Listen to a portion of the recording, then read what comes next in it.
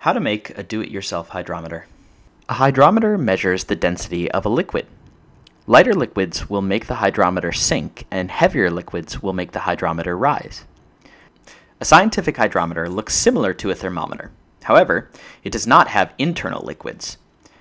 Today, we will be making an at-home hydrometer to measure the densities of common household liquids. Some materials you will need a plastic straw, a permanent marker, a pair of scissors, a lighter, measuring tape or a ruler, salt, a water glass, the thinner and taller the better, metal nails, and a candle. First, I'm going to light the candle to begin melting the wax. Many other videos on the web recommend using modeling clay to seal up one end of the straw, but I did not have any on hand and decided to go with wax as a sealant. Another great alternative is to use a hot glue gun to seal the end. Whatever you decide to use, make sure that you are able to seal one end of the plastic straw with a substance that will not dissolve in water and that will be leak proof. Next, I'm going to take this straw out of its wrapping and trim some of the end off. Whatever you decide to use, make sure that you are able to seal one end of the plastic straw with a substance that will not dissolve in water and that will be leak proof.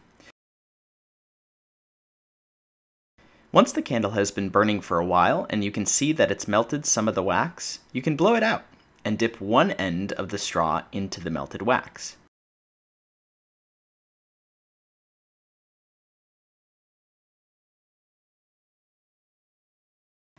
I like to do this several times, so there's multiple layers of wax at the end of the straw to completely seal it.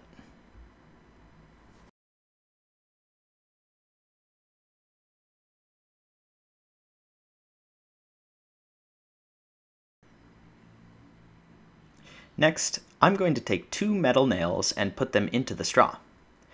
The metal nails will help weigh down the bottom of the straw and keep your hydrometer in the water.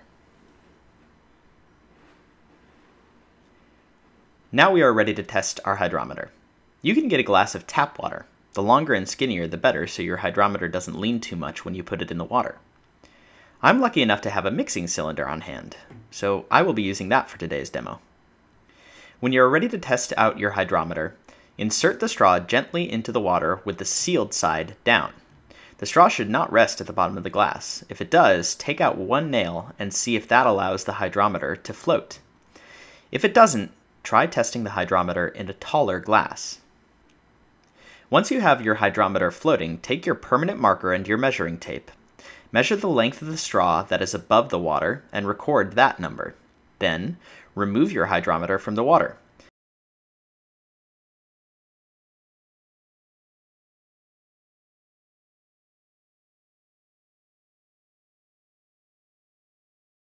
Measure out and mark the same length at the top of the straw.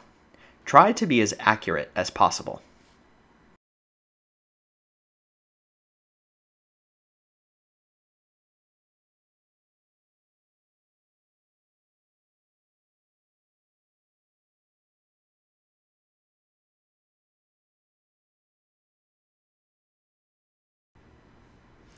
Then, place your hydrometer into the water again.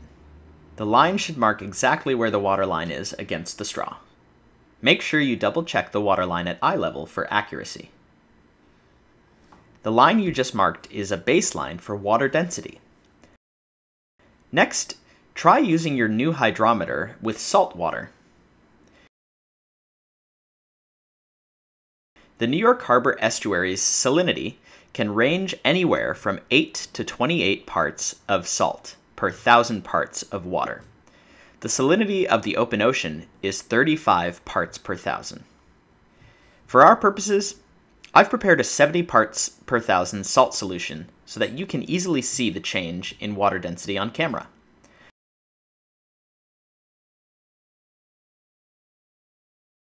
As you can see, our hydrometer is floating higher in the water than before.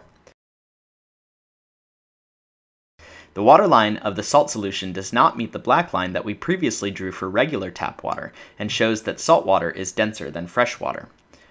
Try experimenting with different liquids you have in the house and compare their densities. Some easy experiments to do with common kitchen ingredients could be comparing the densities of cold and warm water, tap and sugar water, or even tap water and vegetable oil. You might be surprised at what you find. Thanks for watching. Don't forget to visit BOP's digital platform for more STEM education resources.